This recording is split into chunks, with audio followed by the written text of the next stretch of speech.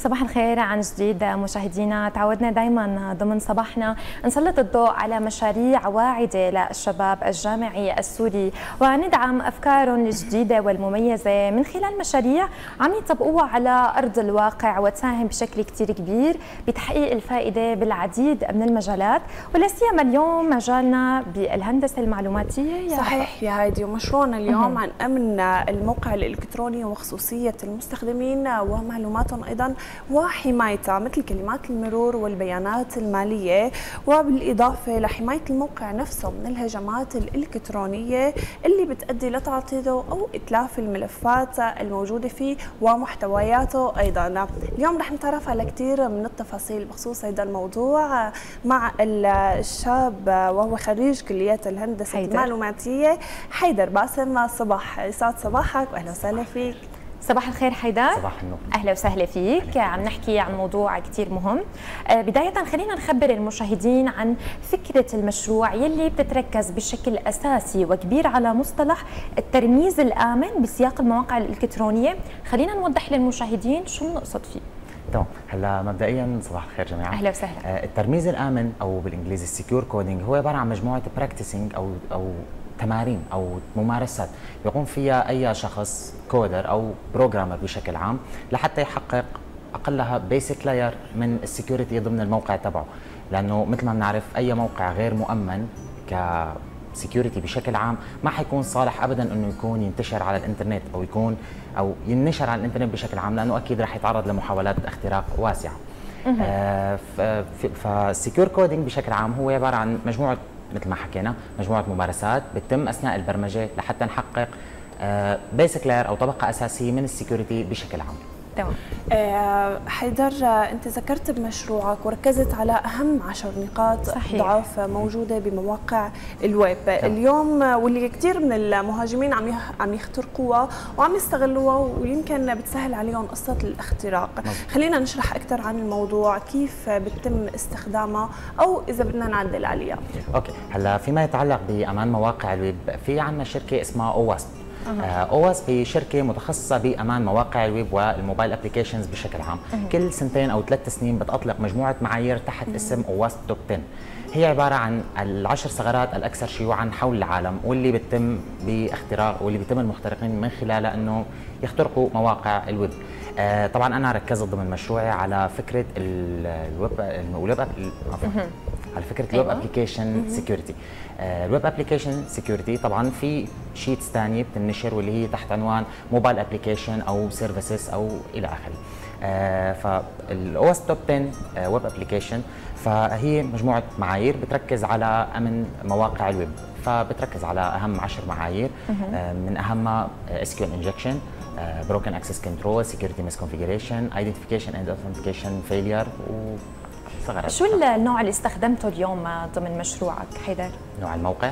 هلا موقعي الأساسي كان هو موقع تجارة إلكترونية، لأنه مثل ما بنعرف نحن غالب الشركات هلا حاليا عم تتوجه لمسارات تجارية أو أو الهيمنة الاقتصادية حاليا هي للشركات التجارية، فأكيد الشركات الناشئة رح تحتاج إلى مواقع ويب خاصة فيها، وبحكم انها شركة ناشئة ما حيكون عندها الميزانيه الكافيه لحتى لحتى إنه تعين فريق محترف لحتى يصمم لموقع الويب، ففي حال عينت فريق غير نوعا ما نعم. فأكيد ما حيكون في هالأمان العالي ضمن الكود أو ال secure أو ال coding تبعها بشكل عام ففكرة إنه ال secure coding هي عبارة عن تنويه على معايير لازم الشخص يحققها ضمن ال coding تبعه لحتى يكون محقق طبقة أمان خفيفة. لأنه مثل ما حكينا الشركة ناشئة ما حيكون عندها الاقتصاد الكافي صحيح. لحتى تعين شركة كاملة متخصصة في مجال الأمن.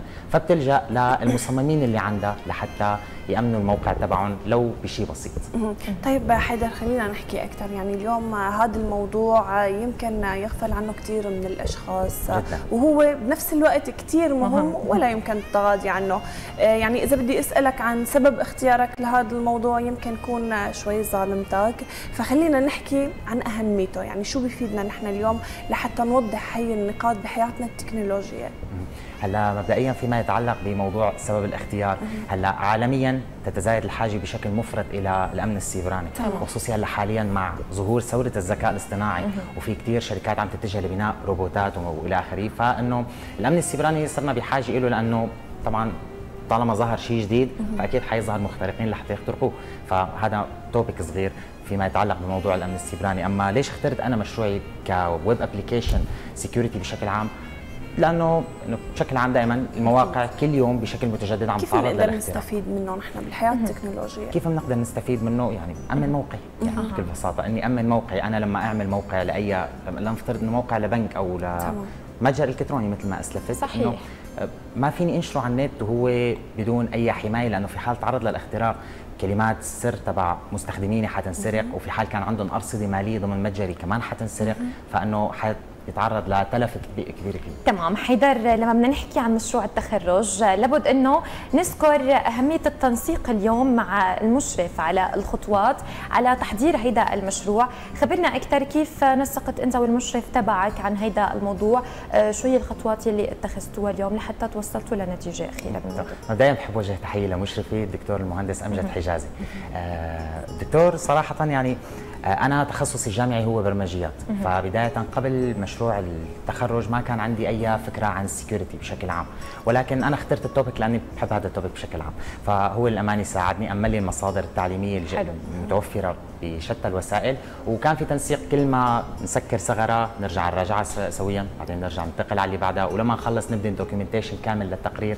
فبالتالي صار عندنا تقرير كامل بجميع الثغرات اللي تم علاجها للموقع الخاص فيه يعني أنت مختار موضوع ال security كثير كثير حساس. تمام أكيد ممكن واجهتك كثير فينا نقول عقبات ومصاعب ولا شوي أي والله. خلينا نحكي عنها وعن أهمها وكيف تخطيتها؟ هلا مبدئيا فيما يتعلق بالعقبات التعليمية security آه هو من أكثر مجالات المعلوماتية التي تفتقر إلى المحتوى المجاني على الإنترنت. ومثل ما بنعرف هون بالبلد ما عندنا أي وسائل دفع إلكترونية خارجية لحتى الواحد يشتري تماما. كورسات. آه غير أساسا الوضع الاقتصادي الصعب يعني بغض النظر عن انعدام فرص الدفع. فبالتالي كان الاعتماد على المصادر المجانية واللي هي الأكاديميات اللي بتكون على الويب والمقاطع اليوتيوب وال playlist اللي على اليوتيوب. فكرة قلة المصادر كانت صعبة بشكل لأنه آه بحكم إنه هلأ نحن بالعصر الحديث غالب العالم صارت تتوجه لليوتيوب كمصدر تعليمي أساسي أنا اضطريت أرجع للوسيلة القديمة واللي هي الكتب والمقالات والأوراق البحثية لأنه كان كثير كثير صعب إنه الواحد يحصل معلومات كثير من خلال الإنترنت أو المحتوى المرئي فاضطرينا نرجع للمقالات. آه هي شغلة شغلة ثانية بحكم إنه security فبدنا نعمل testing أكيد على الموقع أو على أي مواقع أخرى. فبالتالي كلمة testing لل security معناتها أنا بدي أضطر أهجم فبدي اصير هاكر. أو كلمة هاكر كبيرة شوي يعني فإنه بدي أحاول إني أخترق أو لحتى أتعلم أو لحتى أشوف الموضوع كيف بيشتغل. ومثل ما بنعرف القيود الأمنية عندنا هون بالبلد واسعة جدا في هذا الموضوع فكان عملية التعلم صعبة جدا للأمانة يعني ما كانت ابدا شيء سهل سواء من قلة المصادر أو من الظروف المحيطة. تمام. حيدر خلينا ندخل تفاصيل أكثر بالموقع اليوم أمان الموقع الإلكتروني. آه، إذا فيك تعطينا مثال اليوم عن كيفية تعرض موقع الويب للاختراق أو الابتزاز أو أي شيء اليوم في حال إحنا ما اتبعنا ممارسات الترميز الآمن. شو ممكن يصير معنا؟ خبرنا. أوكي. مبدئيا من أحد أشهر الثغرات حول العالم فيما يتعلق بالترميز الآمن واللي هي ثغرة تسمى بال SQL injection أو بالعربي حقن ال SQL ال SQL مثل ما بنعرف هي لغه لغة تعنى بال database ببناء ال database والتعامل معها بشكل عام. الفكرة كيف؟ في حال كان الموقع غير مؤمن فيما يتعلق بمربعات الإدخال. مثلا أنا عندي صفحة تسجيل دخول. login username و password.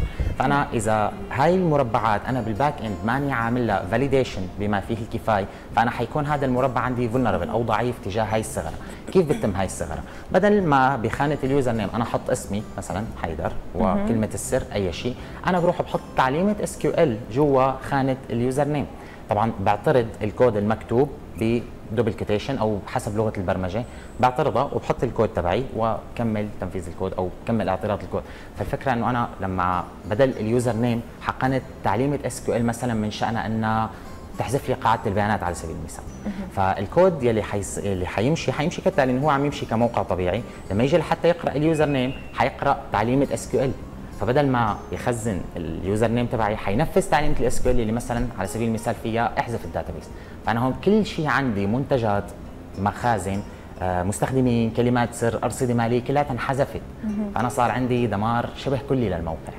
طيب حيدر بالنسبة لمعلوماتنا الشخصية واللي بتكون أوقات جدا حساسة هي معلومات شخصية يعني غير قابلة لأي اختراق أو لأي شيء أي هيكر إنه ممكن يتعرض لها خلينا نحكي هيك شوي كيف ممكن نحن آه، نكون محصنين هي المعلومات أكثر بالنسبة لاستخدام تشفير البيانات كمان بتأمين هي المعلومات كيف ممكن نحن نعملها. تمام. كمبرمج أنا كيف بدي أمن بيانات عملائي؟ مثل ما أسلفت أنا مشروعي كان عبارة عن موقع تجارة إلكترونية. فأنا شو هي المعلومات الحساسة اللي ممكن إنه الشخص يدخلها عندي بالموقع؟ اللي هي الإيميل مثلا آه العنوان الأدرس.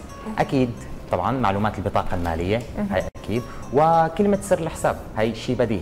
الفكرة كيف؟ أنا لما بدي إجي أدخل هاي المعلومات أنا ادخلتها فهي حتروح تتخزن عندي بال database.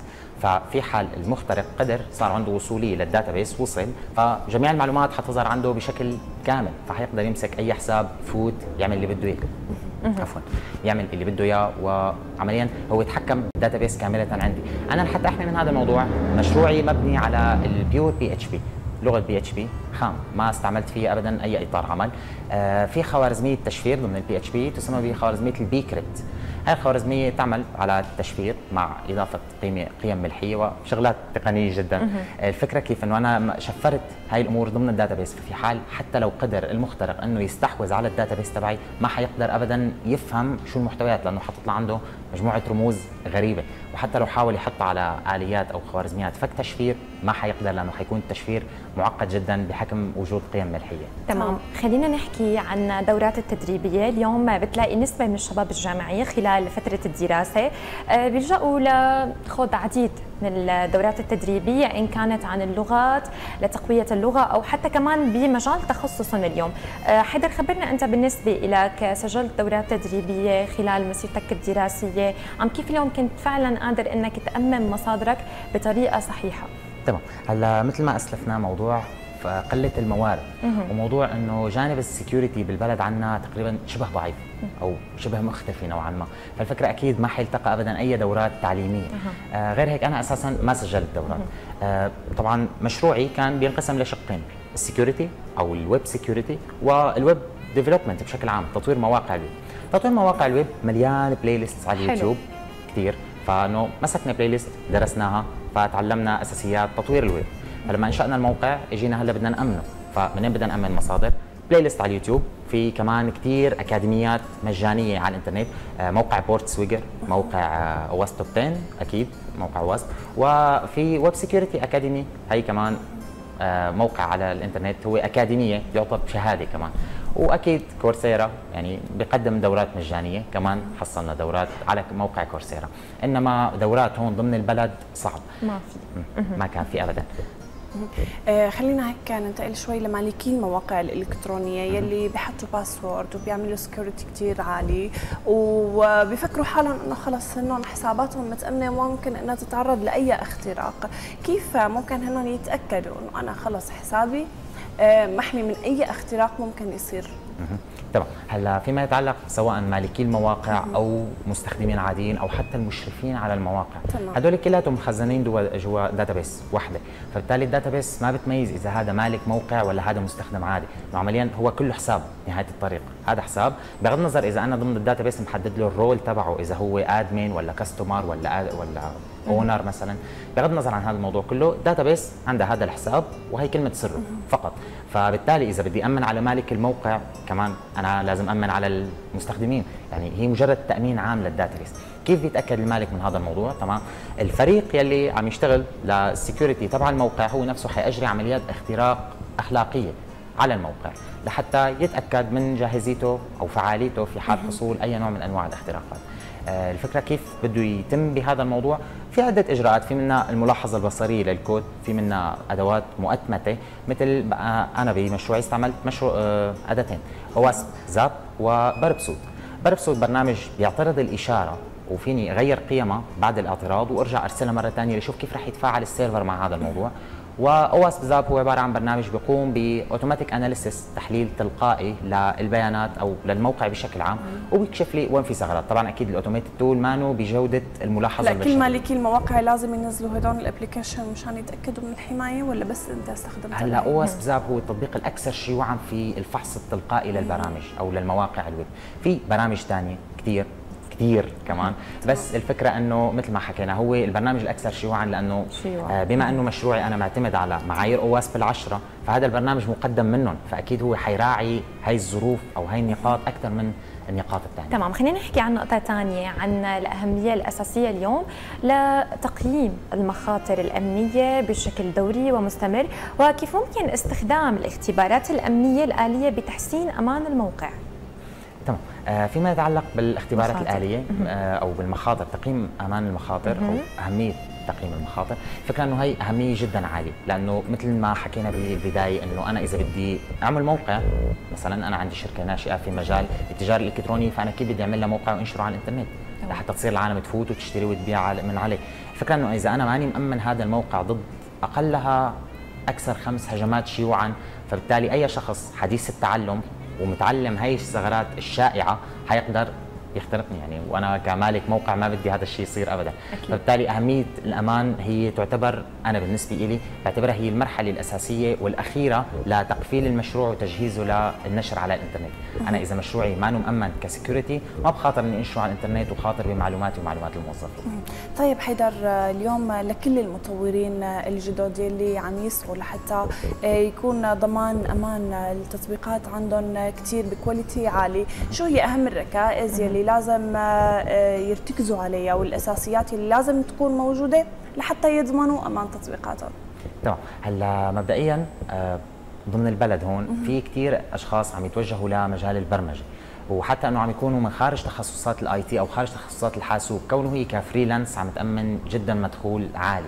الفكرة إنه هدول الأشخاص اللي من خارج التخصص عم يفتقروا إلى المعرفة العامة فيما يتعلق بال secure coding. فلما عم يتموا أو لما عم يخلصوا إنشاء ال project ات المطلوبة منهم ويسلموها عم تكون نسبة ال security فيها شبه معدومة.